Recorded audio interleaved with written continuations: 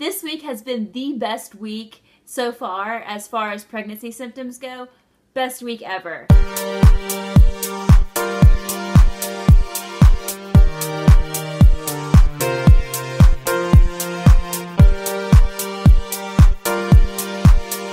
Hey guys, how's it going? So today I am nine weeks pregnant and baby is the size of a grape, in case you can't read that.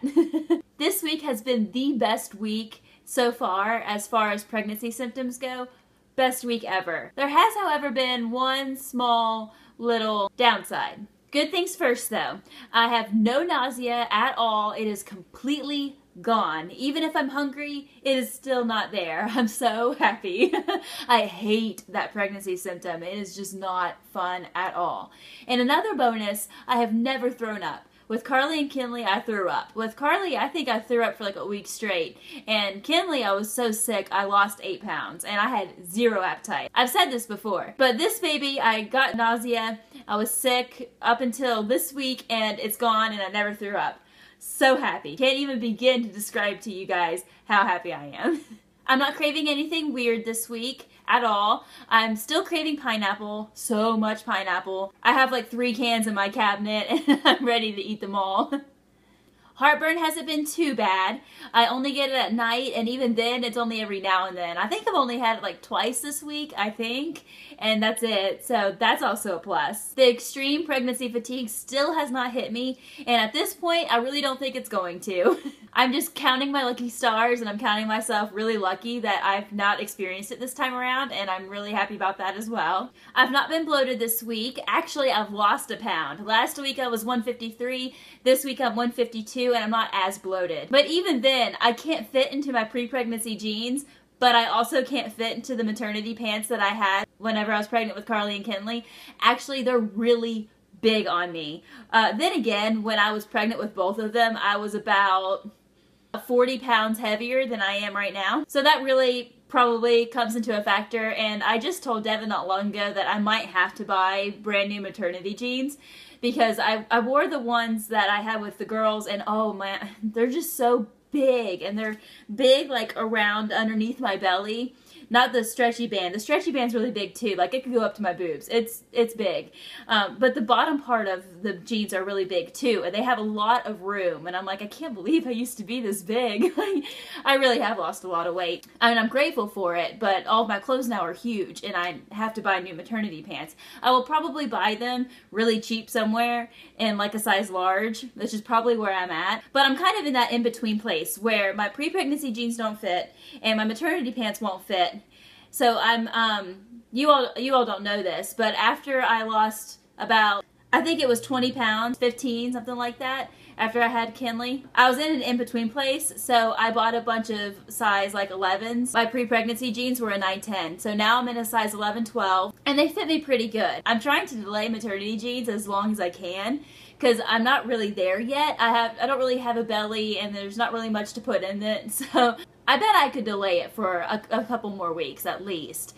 Um, I didn't start showing with Kinley until I was about 12 weeks and Carly when I was 14. So I'm guessing probably somewhere in there is when I might have to retire the 11-12 jeans that I have and just buy me some maternity jeans.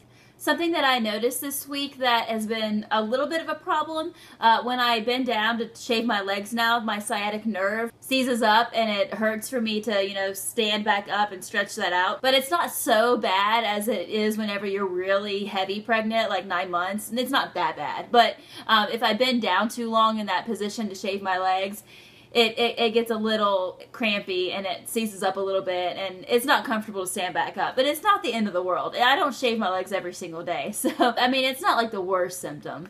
Right, not right now at least. Just wait, just wait guys. When I'm much further along, you'll hear me complain a lot about my sciatic nerve. I did with Kinley anyway. Kinley, it killed me. The thing that has been killing me the most this week though is sleeping. As in I'm getting none. Like None, none. I go to bed every night, doesn't matter how tired I am, somewhere around 2.30 in the morning, and I wake up, well, it's been varying this week. One night I woke up at like 3.30, I kid you not, and I was wide awake. Like, you would have thought that I had slept eight plus hours, and I really hadn't. It was like an hour, hour and a half, and I was wide awake, and I stayed awake for like a couple of hours, and I could not fall back asleep.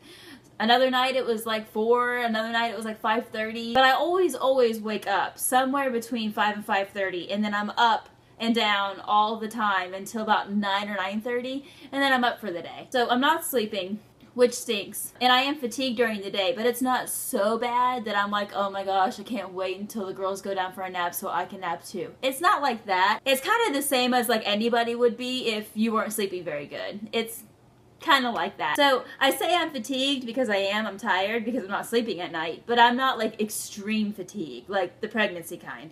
It's kind of like that weird in between place, I guess. I will probably sleep better in my second trimester, so I'm just kind of waiting for it.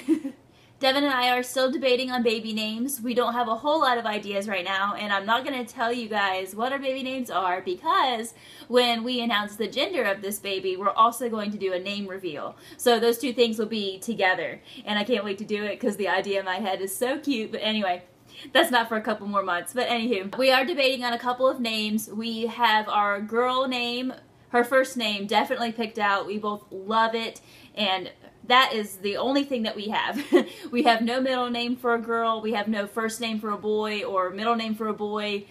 We have we have nothing right now. We're trying to find something that starts with a D for a boy because both of the girls have names that start with a K, which is like me. So we would like for our son to have a D name like daddy, but it's really hard to find one because a lot of the good boy names that start with a D are already taken in our family. Like Daniel and Dylan, and I really like the name David, but Devin doesn't. And I really like the name Dane too, but Devin doesn't. And it's just been really hard to like find a good um, D name that we both like. He's suggested a couple of names that I was, really wasn't fond of. This has just been like challenging, trying to find a boy name that starts with a D that we both like that isn't already taken in our family. So I'm sure we will get there by the time that we announce the gender and the name.